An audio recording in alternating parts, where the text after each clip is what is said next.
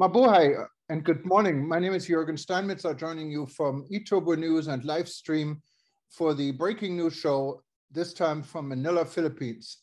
With me is Dr. Peter Tarlow in College Station, Texas. It seems to be a beautiful day here in Manila. Um, I'm, I'm here at the Marriott Manila Hotel. I'm looking out actually to the airport and uh, it seems to be a very nice and calm day. I haven't been outside yet. How are things in College Station? Well, we had a, today, of course, it's evening now in College Station because you're a day ahead of us in the Philippines.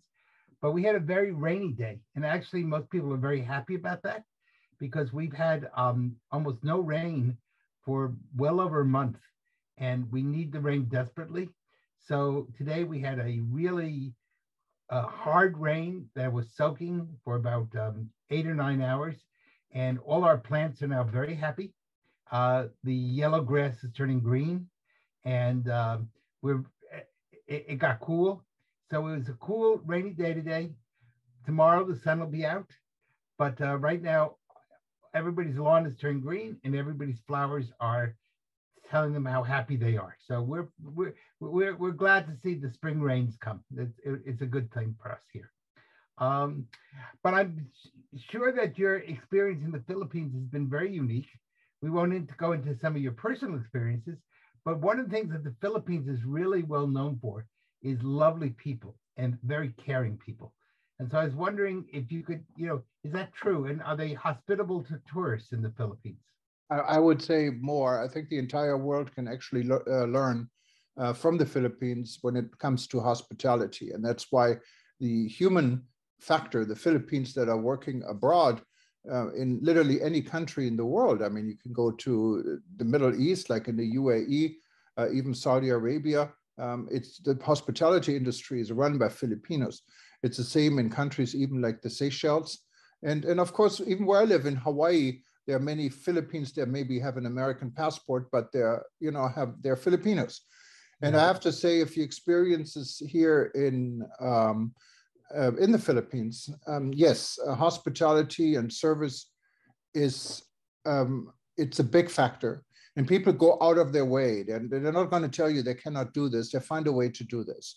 They're creative. That's really important because so much of the tourism industry has failed on customer service, and you would kind of expect that to some extent the Philippines' number one export has been nurses. The Philippines are known for sending nurses Absolutely. and caregivers around the world. I know when I'm in Israel, I get to see uh, lots of Filipino nurses and uh, or Filipino um, caregivers, and you know, tourism has lacked that. Uh, you see that on airlines. Um, I've, I've, been looking at all the various uh, analysis of the various air carriers, uh, both American and European and Asian. And one of the things complaints is constantly on long haul flights, the crew serves dinner and then they disappear for eight hours and then you don't see them again until breakfast. And they're not checking on you they're not asking you need anything? And um, i did see the review of philippine airlines and one of the things that was constantly emphasized was the crew went out of its way to be caring towards its passengers. So um, i think that's really good. Uh, it, it, tourism to work has to have good customer service and it has to have caring people and if the Philippines can be a symbol for much of the world on that, that's really a very helpful sign. Yeah, and the Philippines can, but I think what the Philippines is lacking to sell this domestically in the tourism sector. I think they can do a lot better in actually positioning its tourism industry. What's an excellent industry. The infrastructure is there for the most, most part. And this, as you said, the services here. I think it's lacking in my opinion, this is just for my taste. I think the food could be improved, for example. Um, but if you're not into Philippine food, I mean, here in Manila, you have plenty of other choices, of course. But when you get to the country, uh, then you're more stuck to uh, the traditional way. And honestly, it's not my taste, like, but maybe others like it. Yeah, it may be that the Philippine food is too healthy for you. Um, I think I think you kind of like a lot of spices and um, salt and I think you've had a kind of a salt-free diet. I personally like that, so I probably will love Philippine food at some point. Um, as long as I can avoid the pork issue, I'm in good good to go. But I think that um, you know what, I'm a firm believer even if you have an infrastructure problem or a food problem, if you have smiles and you have good customer service, that will compensate for almost any other problem that you have. No, and that's absolutely true, Peter. People will forgive an infrastructure problem, they'll forgive a bad meal, but they will not forgive bad customer service. And uh, that's really the essence, I think, of what makes um, not only the Philippines, but also other parts of Asia really um, go. Um, the sense of caring. Uh, Japan is, is incredibly good at customer service. Um, some of the South Asian uh, countries, uh, such as uh, Vietnam and Cambodia, are well known for customer service. And I think the Philippines is a real symbol of the humanity of tourism. And if we talk about tourism as a means to bringing people together, then the fine customer service, and it's not customer service, it's people caring about other people. And you have this, and you have this, of course, and as you said, in many other parts and um, in Asia, in Thailand, you know, the Thai smile is uh, uh, well worth it. Actually, I remember this flight I was on many years ago on Thai Airways from Bali to Bangkok, I think it was. And um, I've, I've, been on that flight uh, on business uh, almost every week, so they kind of know me. And uh, when I asked, so what, what do you, what's the difference between you guys and Singapore Airlines? Because Singapore Airlines always had a superior uh, yeah. experience. Right. I said, well, I, I, we have to, I have to admit, you know, this came from one of the flight attendants. Um, there, there, there are, you know, they may have uh, better and even not, nicer airplanes than us, but we have the nicer smile. So you can see smile really sells and yes, it, uh, friendliness sells. Yes, a, a smile, a sense of caring, really sells. And in this world where there's so many problems, you have violence across much of Latin America. Certainly, you know, we don't know what will be in Europe. Um, the uh, foreign minister of Russia again say, said we may very well enter into World War III, but certainly um, we have a terrible crime wave in the United States. Um, when you have those types of issues, then what you're seeing is that when people care, that goes a long way. And so um, a smile can cover up many, many difficulties. Somebody asked me today, I run an organization, and they said, Why do you guys do so well on fundraising? And I said, Because I know how to smile. And the person thought I was joking, but I wasn't. In other words, learning how to smile, learning how to listen, learning how to show caring are really essential qualities in the sense of, um, uh, of making tourism work. And I think in that sense, the Philippines, I think, can become a really major tourism center. Um, and it probably needs to have a little bit of work in some other areas, uh, maybe get a few major other international conventions and some uh, niche marketing. Um, and that may be really what they need. Uh, I'm working on something right now, and you'll be, of course, will be helping us on um, in Panama uh, the idea of creating an international tourism, not just security conference, an international tourism well-being conference. And that will touch on everything from um, health to um, people feeling lonely when they're traveling to, um, of course, making sure that people don't get um, hurt uh, either physically or emotionally or economically when they travel but again, those are the types of conferences I think that makes the world move. And no, absolutely. Tourism is about hospitality. It is about people, and it is about peace. And uh, that's why the human interaction is such an important uh, factor in, in the human development. And it goes way beyond tourism. Uh, we yes. can see this in the times of wars and conflict. Um, the human interaction between people um, may save this world. Who knows? You know, and it, it's highly important, and tourism is playing an important role into this. Here in Manila, I can really say tourism can play an important role. Can Not play an important, yes. Can play, and the reason for that is that there are places in the world where tourism is only interested, unfortunately, in getting your money. And there are other places in the world that tourism is really about interaction between human beings. If it's a former, then tourism really doesn't bring about peace If it's the latter, then tourism does a wonderful job about uniting people. But in order to do that, we got to get out of the hotels. We got to get people to get to know each other, to talk to each other, share experiences, get to find ways to see each other. And those are all really basic qualities.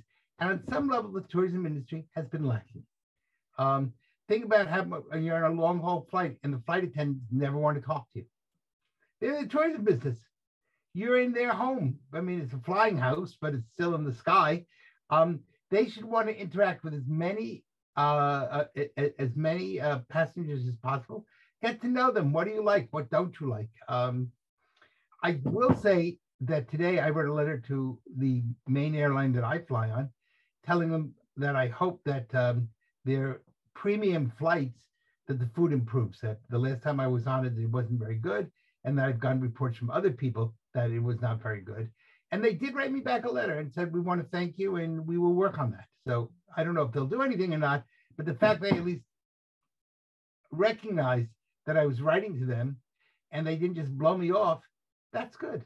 That's, uh, and, and, uh, and, Peter, you and I were, uh, were young enough to remember the times of Pan American uh, when flying uh, was such a, a, privilege and the food was yes. so excellent. I remember the times where I was uh, privileged enough to fly first class on Pan American. I mean, you get the caviar, you get the Dom Perignon, you name it. You know, it was all there.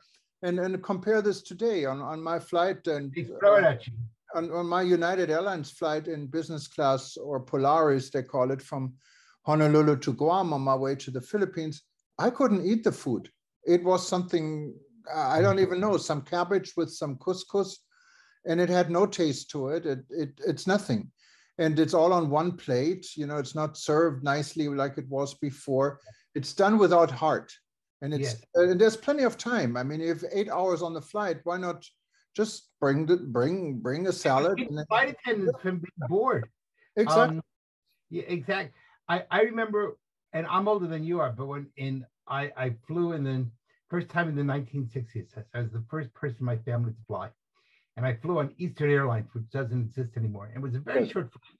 It was from uh, Washington, D.C. to Newark. So it was about 45 minutes on the plane, which was considered really ecstatic. Nobody would get on the plane without a jacket and tie. Women wore heels and right. white I remember that. And um, they actually served sandwiches between Washington and Newark.